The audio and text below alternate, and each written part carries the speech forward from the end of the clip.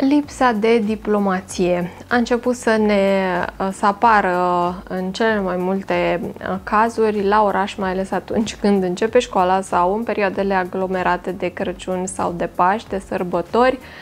Lipsa de diplomație se uh, manifestă ca o boală a societății uh, și care până la urmă nu ne face decât rău nouă, ne facem rău noi unii celorlalți.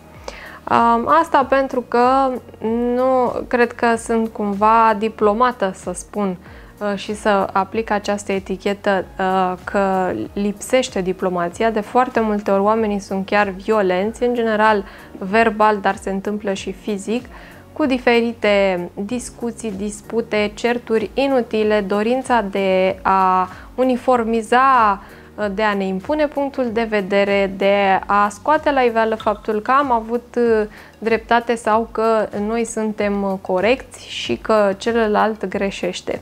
Nu este important să uh, scoți în evidență lucrul ăsta. E mai bună pacea decât dreptatea, este mai bine să parchezi puțin mai departe de intrarea în grădiniță și în școală ca să nu-ți lovești mașina de un alt șofer grăbit cu copilul Uh, spre școală, spre grădiniță, care trebuie să ajungă și el în timpul uh, uh, util la serviciu.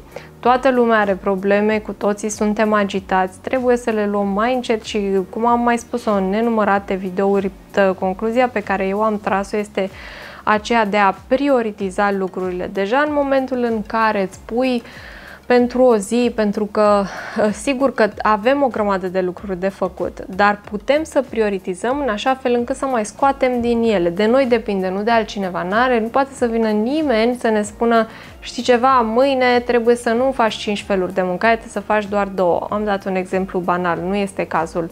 Dar uh, ca idee putem, uh, putem să găsim soluții în a ne simplifica viața, în a cere mai puțin de la noi, în a prioritiza punând pe primul și pe primele locuri lucrurile pe care pur și simplu nu pute, nu, ziua respectivă nu poate să treacă. Spre exemplu, să mergem la serviciu și să ducem copilul la școală, asta ar fi niște priorități din punctul meu de vedere.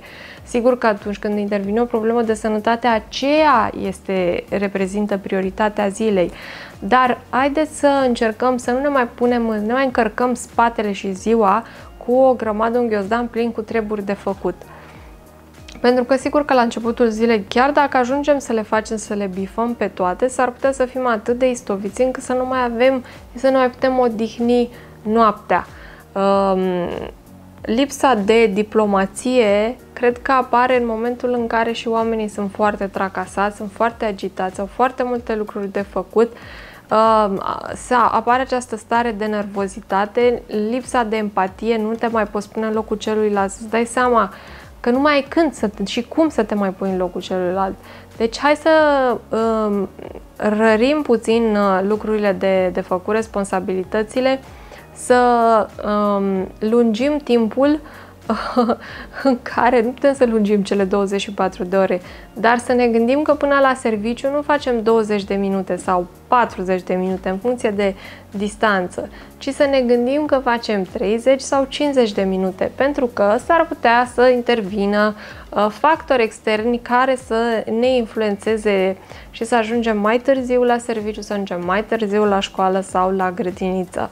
Deci, um, concluzia este că ar trebui să ne organizăm mai bine, organizare, organizare și iar organizare, în situația în care ne simțim depășiți și în care, în primul și în primul rând, ne simțim mai nervoși decât în alte perioade. Am văzut oameni foarte nervoși, foarte stresați în trafic, în toate instituțiile, mai ales în această perioadă, din cauza faptului că se aglomerează, se termină vacanța și se aglomerează și uh, revii la acel tumult, la acea uh, agitație și până la urmă la acel haos. Să ne revedem cu bine mâine dimineață!